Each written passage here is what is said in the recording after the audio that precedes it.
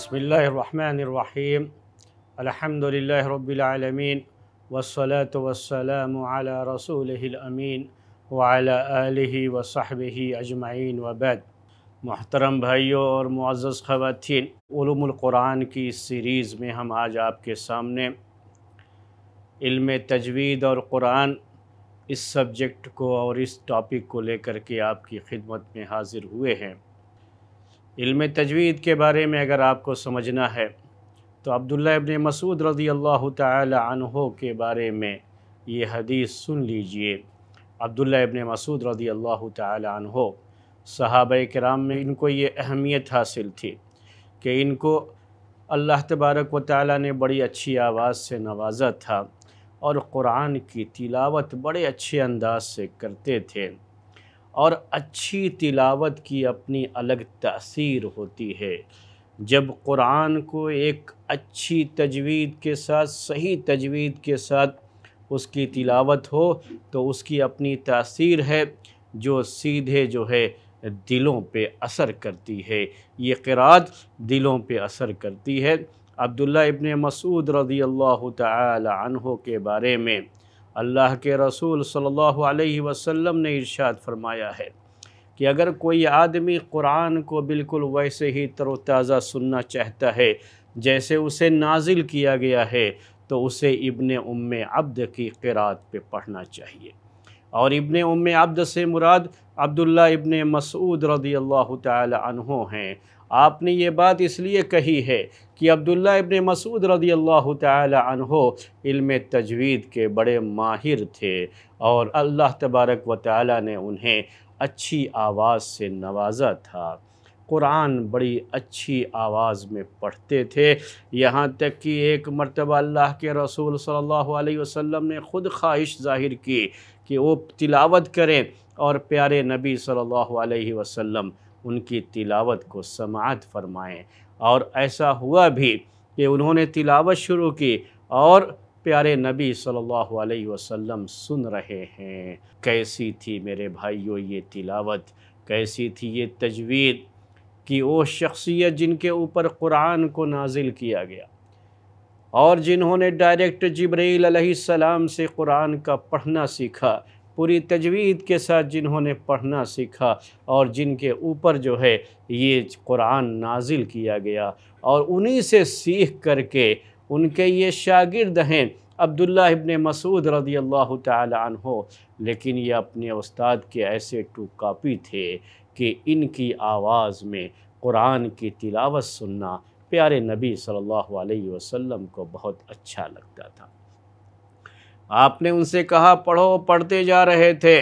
जब पहुँचे इस आयत पे इदा जी जिना मिनकुल्ल उम्मतिम बे शहीद व जिना हाउला शहीदा। ऐसा असर था इस कलाम का प्यारे नबी सल्लल्लाहु अलैहि वसल्लम के दिल पर कि आपकी आँखों से आँसू रवा हो गए, आपकी आँखें अशकबार हो गई और आपने कहा उनसे हसबो कहते हैं अब्दुल्ला इब्न मसूद रदी अल्लाह तहो कि मैंने देखा प्यारे नबी सल्लल्लाहु अलैहि वसल्लम के चेहरे की तरफ़ तो आपकी आँखों से आँसू की झड़ी लग चुकी थी।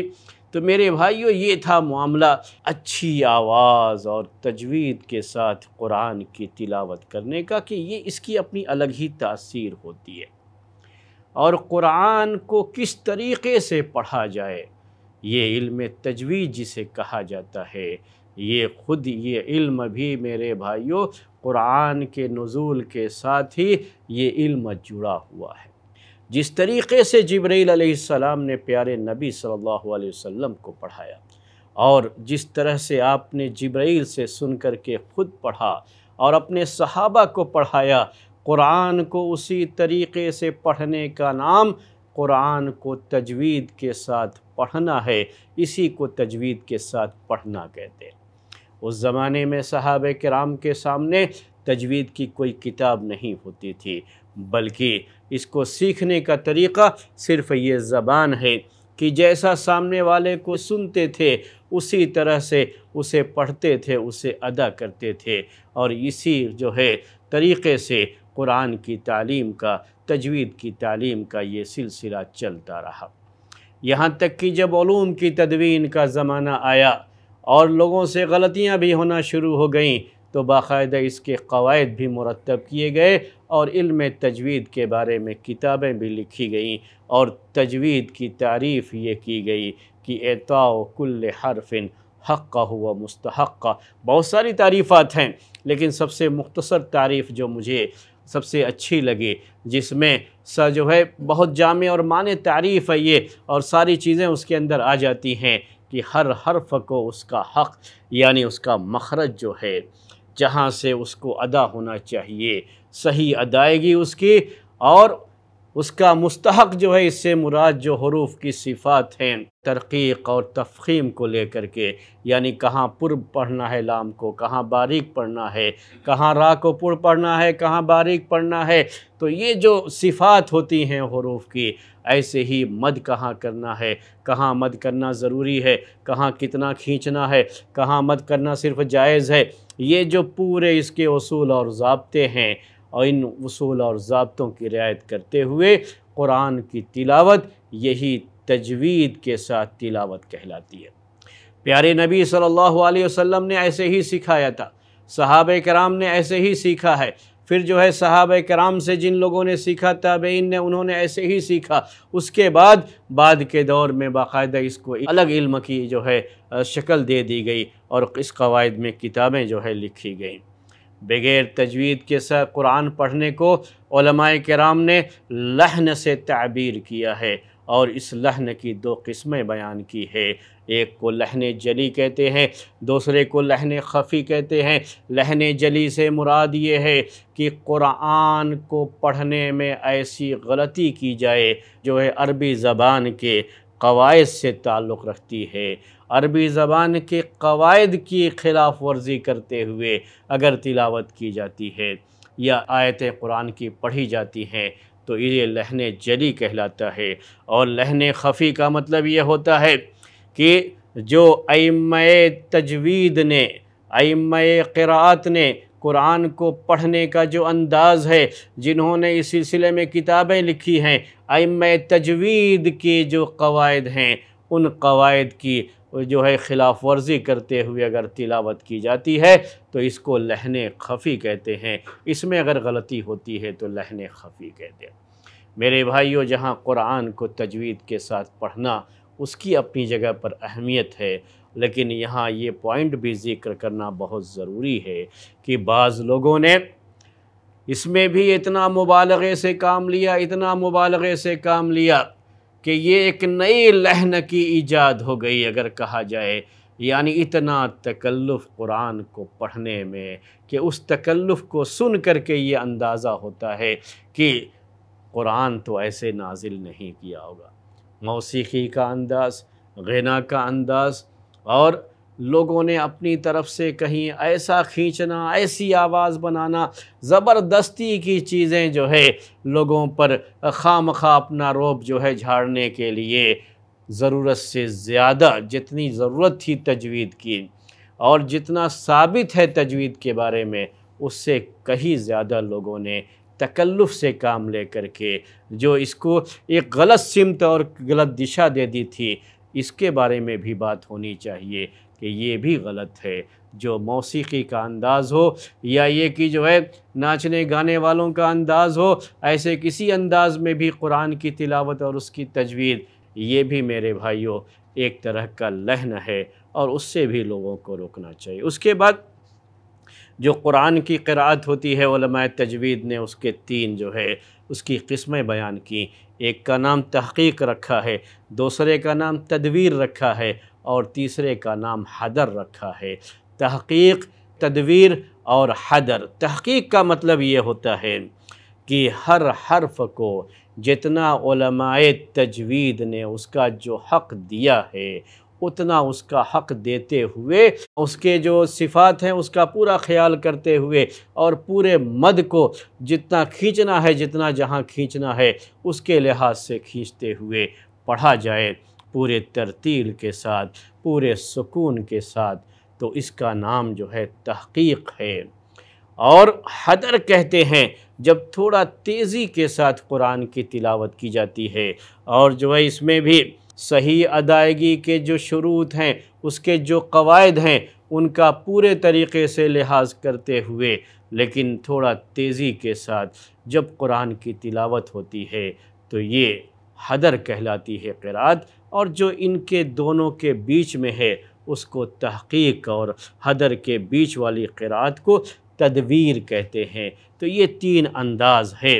कुरान की जो है तजवीद के ताल्लुक़ से, जिसको जो है तजवीद ने ज़िक्र किया। उसके बाद कुरान की तिलावत, कुरान की तिलावत और वो भी कसरत से कुरान की तिलावत, पूरे तजवीद के साथ और तजवीद के अहकाम की रियायत करते हुए कुरान की ये तिलावत अल्लाह तबारक व ताली को इतनी पसंद है कि अल्लाह तबारक व ताली ने अपने रसूल से ये बात कहलवाई कि ला हसद इल्ला फिसनतैन, ला हसद इल्ला फिसनैन फ़ास रिवायतों के लिहाज से और बाज़ रिवायतों में इल्ला फिसनतैनी रजुल आताहुल्लाह।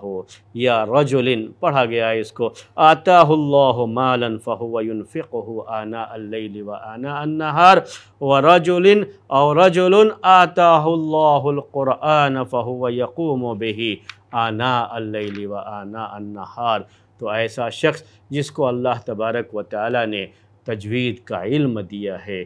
कुरान तजवीद के साथ पढ़ने की सलाहियत दी है। अच्छी आवाज़ का मालिक बनाया है। तो ऐसा कोई भी शख्स मेरे भाइयों, जब कुरान कसरत से तिलावत करता है, लोगों को सिखाता है, ख़ुद पढ़ता है तो ऐसे शख्स के ऊपर रश्क किया जा सकता है और उसके जैसे बनने की ख्वाहिश हो सकती है। सलफ़ का ये तरीक़ा था मेरे भाइयों कि कुरान वो बड़ी कसरत से तिलावत करते थे और भी तजवीद के पूरे कवायद की रियायत करते हुए तिलावत करते थे। ऐसा होता था उस ज़माने में कि सात दिन में पूरे कुरान की तिलावत वो लोग कर लिया करते थे, लेकिन बाद में वो चीज़ बाकी नहीं रही। अब तो जो है, कुरान की कसरत से तिलावत करने वाले खाल खाल ही नज़र आते हैं, वो चीज़ नहीं रही। और ये जब इल्म तजवीद ने बाकायदा एक इल्म की शक्ल इख्तियार कर ली और उसके बारे में किताबें लिख दी गई। तो अब ऐसा होता है कि इल्म तजवीद किताबों से पढ़ाया भी जाता है, लेकिन तजवीज़ सीखने का जो सही तरीक़ा है, वो तरीक़ा है किसी अच्छे जो है पढ़ने वाले के पास उसके साथ मिल कर के मश्क करना और उसकी प्रैक्टिस करना, यही उसका सही तरीक़ा है। किताबें आदमी कितनी भी याद कर ले और अल्फाज की शक्ल में इल्म तजवीद को कितना भी पढ़ ले, लेकिन अगर कुरान सही से पढ़ना नहीं आया तो ये कवायद याद करने का कोई फ़ायदा नहीं है। इसलिए इस फ़न के लिए ज़्यादा बेहतर तरीक़ा ये है कि उसके जो सही तरीक़ा रहा, जो प्यारे नबी वसल्लम के ज़माने में, जो सहाबा के दौर में, कि कारी साहब के पास बैठ करके अच्छी तरह से ये प्रैक्टिस करके, मश्क करके इस इल्म को हासिल किया जाए, ये उसकी सबसे बेहतर शक्ल है। कुरान की जब तिलावत की जाती है तो यहाँ पर भी इस बात का लिहाज करना चाहिए कि जब हम कुरान पढ़ते हैं तो कुरान पढ़ने के भी कुछ आदाब हैं, सिर्फ़ तजवीद का ही नहीं, तजवीद तो अपनी जगह पर है ही कि तजवीद का पूरा पूरा ख्याल करना है, लेकिन साथ ही साथ ये भी है कि जब कुरान पढ़ते हैं तो पूरे तदब्बर के साथ कुरान पढ़ें, क्योंकि कुरान के नाजिल करने का ये अहम मकसद बताया गया है। प्यारे नबी सल्लल्लाहु अलैहि वसल्लम के ऊपर अल्लाह तबारक व ताली ने यह आयत भी नाजिल फरमाई कि किताबुन अनजलना इलेका मुबारकन लियदब्बरु आयात ही और इस आयत में अल्लाह तबारक व ताली ने कुरान के नाजिल करने का मकसद बताया। यह ऐसी अजीम किताब है कि जिसको हमने नाजिल किया, बड़ी बाबरकत किताब, ताकि लोग उसकी आयतों पर गौर व फ़िक्र करें। तदब्बर करना ये कुरान के नाजिल करने का एक अहम मकसद बताया गया है। इसीलिए तजवीद की रियायत करते हुए कुरान की जब तिलावत होती है तो इस बात का ख्याल भी होना चाहिए कि कुरान की तिलावत करते हुए कुरान के अंदर तदब्बर और उसके मानी में तफक्र ये बहुत अहम चीज़ है और इसका पूरा पूरा ख्याल होना चाहिए और इसकी रियायत करते हुए कुरान की तिलावत होनी चाहिए। इसी में ये बात भी आती है मेरे भाइयों कि प्यारे नबी सल्लल्लाहु अलैहि वसल्लम का कुरान पढ़ने का तरीक़ा ये होता था कि जब आप आयत रहमत पर गुज़रते थे तो वहाँ अल्लाह ताला से उसकी रहमत तलब करते थे, आयत अज़ाब से गुज़रते थे तो अज़ाब से अल्लाह ताला की पनाह चाहते थे। अगर कहीं वाद की, जो है खुशखबरी की आयतें हैं तो उस लिहाज से इंसान को खुशी होती है। लेकिन जहाँ वाइद की आयतें हैं तो रोने की कैफियत भी होती थी। खौफ सा दिल में होता था और उसका अंदाज़ ये हो जाता था कि वह यखिरून अज़क़ान यबकून व यजीद हम खुशुआ, कि वो जो गिर पड़ते हैं, वो सजदे में गिर पड़ते हैं, रोते हैं और खुशू में उनके इजाफ़ा हो जाता है। तो ये सारी चीज़ें मेरे भाइयों जो है, इसका जो है बयान मौजूद है। ये सारी चीज़ें जो है ज़िक्र की गई हैं। ये सब की सब जो है, हमें इनका ख्याल करना चाहिए। कुरान की तिलावत में जहाँ तक हो सके, बेहतर बात यह होती है कि इंसान की जो फितरी आवाज़ है, उस फितरी आवाज़ को जितना बेहतर अंदाज में वो कुरान की अदायगी के लिए इस्तेमाल कर सकता है, उसे करना चाहिए। अल्लाह ताला ने अगर अच्छी आवाज़ का मालिक बनाया है, तब तो ज़ैदुल्क़ुरान अब असवातकुम, कि कुरान को अपनी आवाज़ से जीनत दो। कुरान को जितनी अच्छी आवाज़ में पढ़ सकते हैं, पढ़ें। कुरान की तिलावत में एक अहम अदब ये भी है कि कुरान की तिलावत जहरी करना चाहिए। जहाँ कहीं भी कुरान की तिलावत जहरी करना ये अफजल है तो उसका लिहाज करना चाहिए। क्योंकि जब जहरी तिलावत होती है तो इससे जो है दिल जागते हैं और लोगों में एक नशात पैदा होता है और लोग कुरान की तिलावत की तरफ़, सुनने की तरफ़ रागिब होते हैं। लेकिन जहाँ कुरान की तिलावत ज़रा जो है सिर्री अंदाज में करना बेहतर हो, वहाँ सिर्री अंदाज में करना ही बेहतर होता है। बल्कि नमाज़ जो सिर्री नमाज़ कहलाती है, वहाँ पर तो सिर्री जो है क़रात ये ज़रूरी हो जाती है और सिर्री अंदाज से ही क़रात करना वहाँ ज़रूरी हो जाता है। इसी तरीके से कुरान की ख़िरावत के बारे में ये बात भी है, एक मसला भी आता है कि कुरान को देख करके पढ़ना ये अफजल है। या जो कुरान याद है, उसको कुरान मुसहफ़ को देखे बगैर पढ़ा जाए, वो बेहतर है। इसके बारे में तीन राय लोगों की है। एक राय तो ये है कि कुरान को मुसहफ़ में देख करके पढ़ना ये अफजल है, क्योंकि कुरान में देखना भी एक इबादत है। तो इस तरीके से कुरान में देखना और पढ़ना, ये दोनों इबादत इसमें शामिल हो जाती हैं। तो लोग कहते हैं कि देख करके, मुसहफ़ में देख करके पढ़ना अफजल है। लेकिन मुझे ये बात ज़्यादा जो है बेहतर नहीं लगती, क्योंकि प्यारे नबी सल्लल्लाहु अलैहि वसल्लम, ज़ाहिर सी बात है कि उस ज़माने में तो मुसहफ़ ये तैयार हुआ नहीं था। और जिन सहाबा ने लिखा था, उन्होंने लिखा था, कोई बात नहीं है, लेकिन प्यारे नबी सल्लल्लाहु अलैहि वसल्लम वो मंगा करके उसमें तो पढ़ते नहीं थे। तो आप तो ज़बानी ही पढ़ा करते थे। आपको जो याद है, उसी से जो है, जो बाई हार्ट जो चीज़ थी, उसी से आप पढ़ा करते थे। इसीलिए हम समझते हैं कि अगर कुरान का जो हिस्सा याद है अच्छी तरह से, उसको ऐसे ही बगैर मुसफ़ में देखे हुए पढ़ें तो ज़्यादा बेहतर है, क्योंकि इसमें तदब्बर करने की बात ज़्यादा होती है और इसी कौल को इस बिन अब्दुलसलाम ने इख्तियार किया है, राज करार दिया है और ये कहा है कि लोग ये कहते हैं कि अगर कोई शख्स जो है मुसाफ में देख करके पढ़ता है तो ये अफजल है क्योंकि इसमें ज़बान और आँख दोनों का जो है अमल हो जाता है और मशक्क़त ज़्यादा हो जाती है, इसकी वजह से अजर ज़्यादा मिलता है। तो कहते हैं कि ये कौल बातिल है, क्योंकि क़रात से मकसूद तदब्बर करना है और तदब्बर ये जब आदमी को याद हो तो ऐसे ही ज़बानी जब पढ़ते हुए उसमें तदब्बर करने की कैफियत ज़्यादा हो सकती है। एक तीसरी राय इस सिलसिले में ये है कि अलग अलग कुर्रा के लिहाज से इसका अलग अलग हुक्म हो सकता है। बाज़ लोग जो है मुसहफ़ में देख करके पढ़ें तो इनके लिए तदब्बर करना ज़्यादा आसान और बेहतर है। तो उनके लिए वही बेहतर होगा, लेकिन जिनको अच्छी तरह से याद है और वो जो है तदब्बर और तफक्र के साथ कुरान की तिलावत कर सकते हैं बेगर देखे हुए तो उनके हक़ में वही बेहतर है। और उनके हक़ में यही कहा जाएगा कि वो जो है बगैर देखे हुए कुरान की तिलावत किया करें।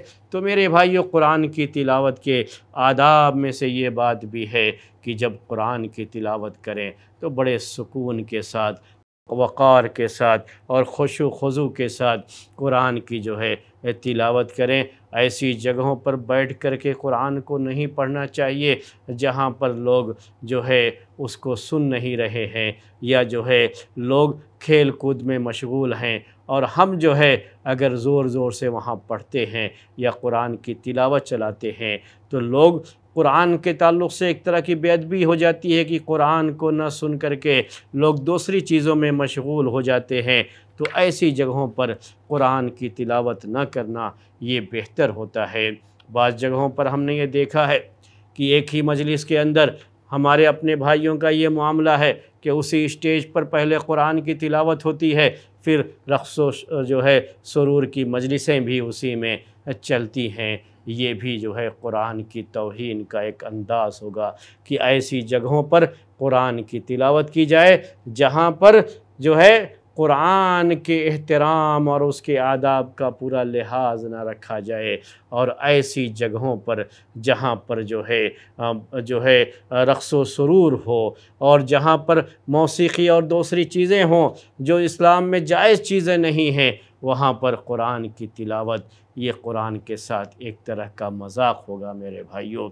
यहाँ ये बात भी हमें याद रखनी चाहिए कि कुरान की तिलावत में इस पहलू को भी जहन में रखा जाए कि जब कुरान की तिलावत करते हैं तो कुरान ये अल्लाह ताला की किताब है और खुशु खजू होना चाहिए, जो तस्वूर आना चाहिए और जो कुरान के मानी में गौर व फ़िक्र करते हुए जो उसकी तिलावत होती है और जो उसका असर दिल पे होता है, ज़बान से उसका असर ज़ाहिर होता है आज़ा और जवारे से जो उसका असर ज़ाहिर होता है, ये सारी चीज़ें कुरान की तिलावत में हों तो ये सबसे बेहतर चीज़ मानी जाती है। और ये कुरान की तिलावत के लिए बहुत अहम चीज़ होती है। यहाँ ये बात भी मैं ज़िक्र कर दूँ आपके सामने कि कुरान की तिलावत के ताल्लुक़ से बाद लोगों ने कुछ गैर ज़रूरी शर्तें और कुछ गैर ज़रूरी आदाब बयान किए और उसकी पाबंदी और उसके बारे में ज़रूरत से ज़्यादा अहतमाम करने ने भी लोगों को कुरान से बहुत दूर कर दिया है। एक बात बहुत मशहूर है कि कुरान की तिलावत या आयतें सुन करके आप देखेंगे कि औरतें जो है सरों पर दुपट्टा रखने लगती हैं। और अगर सर जो है दुपट्टे से खाली है तो अजान हो रही है या ये कि कुरान की तिलावत हो रही है तो जल्दी से जो है सर पे दुपट्टा रखना चाहते हैं। ऐसे ही जो है मर्दों के बारे में ये है कि ये समझते हैं कि कुरान की तिलावत है तो अब टोपी वगैरह पहन करके ही कुरान की ये गैर ज़रूरी चीज़ें हैं, गैर ज़रूरी बातें हैं। जहाँ तक दुपट्टे की बात है तो वो हमेशा औरतों को लगाना चाहिए। हमेशा जो है, दुपट्टे के साथ रहना चाहिए और हमेशा पर्दे में रहना चाहिए। वो एक अलग हुक्म है और कुरान की तिलावत ये अलग चीज़ है, अलग मसला होता है। तो ये बातें जो है, कुरान की तिलावत के आदाब में से हैं, साफ़ सुथरी जगह में और कुरान जो है, तजवीद के कवायद की रियायत करते हुए इसकी तिलावत की जाए। बेहतर यही होता है कि कुरान की तिलावत से पहले मिसवाक भी कर लें। ये सब चीज़ें बेहतर हैं, मुस्तहब हैं, कोई ज़रूरी नहीं है। ऐसे ही वज़ू भी कर लें तो ये अफजल है, बेहतर है। मुकम्मल तहारत के साथ कुरान की तिलावत करना ये अच्छा है। कुरान की तिलावत के शुरू में आउज़बिल्लिमिनशैतानरजीब पढ़ लें। क्योंकि कुरान में अल्लाह तबारक व ताली ने इरशाद फरमाया है फ़ैज़ा क़रतलक़ुरान फ़स्तद बिल्लाशैतानरजीम कि जब तुम कुरान के पढ़ने का इरादा करो तो अल्लाह तबारक व ताली की पनाह में आ जाओ शैतान रजीम से, मरदूद शैतान से। तो बाज़ ने इस आयत की रोशनी में, ये औज़ बिल्लाशैतानरजीम पढ़ना कुरान की तिलावत के शुरू में इसको वाजिब करार दिया है। ये बिस्मिल्लाह पढ़ना हर जो है सूरह के शुरू में यही तरीक़ा रहा है और इसी लिहाज से मुसहफ़ के अंदर बाकायदा जो है हर सूरह के शुरू में बिस्मिल्लाह लिखा गया है, सिवाय सूरह बरा के। इसका भी अहतमाम होना चाहिए और ये अहतमाम इस लिहाज से भी बहुत ज़रूरी है कि बिस्मिल्लाहिर्रहमानिर्रहीम को बाज़ लोगों ने तो हर सूरह की एक आयत करार दिया है, लेकिन हम उस राय के कायल नहीं हैं। सुरह जो है, फ़ातिहा की भी एक आयत नहीं है ये, और इसी तरीके से कुरान के किसी भी सुरह की आयत नहीं, सिवाय एक सूरह के, जिसके बीच में ये आयत जो है, आई हुई है। और ये कुरान की एक आयत है बिसमीम इसमें कोई जो है शुबह नहीं है, शुबह की कोई गुंजाइश भी नहीं है। लेकिन हर सूरह के शुरू में जो इसे लिखा गया है तो ये हर सूरह की भी एक आयत है, ऐसी कोई बात नहीं। ख़ास तरीके से सूर फातिहा के बारे में तो ये बात बिल्कुल साबित है, जिसके बारे में प्यारे नबी सल्लल्लाहु अलैहि वसल्लम ने कहा कि सूर फातिहा जो है ये अल्लाह ताला ने कहा कि इसमें से आधा तो मेरे बंदे के लिए और आधा जो है मेरे लिए। उसमें जो उसकी तफसील बयान की है, तरतीब बयान की है तो अल्हम्दुलिल्लाह रब्बिल आलमीन से उसकी शुरुआत की गई है। इससे मालूम यह होता है कि सुर फातिहा की शुरुआत यहीं से होती है। तो ये बिसमीम के पढ़ने के ताल्लुक़ से जो आदाब थे, जो कायदा और जबता था, वो आपके सामने पेश कर दिया गया और जो है तजवीद और तिलावत के जो थोड़े आदाब थे, वो आपके सामने ज़िक्र किए गए। आज का दर्स इसी पर ख़त्म करते हैं। सुबहानकल्लाहमदिका शद अस्तफ़िर अल्हम्दुलिल्लाह। इस एपिसोड को बनाने में हमारे एक दीनी भाई ने पूरा ताउन किया है। अल्लाह इसे उनके और उनकी पूरी फैमिली के लिए सदक़े जारिया बनाए। आमीन। आप भी ऐसे वीडियो या सीरीज़ को स्पॉन्सर करने के लिए कॉल करें। Nine five double eight double eight double eight two six पर। ऐसे ही और वीडियोस बनाने में हमारी मदद करें।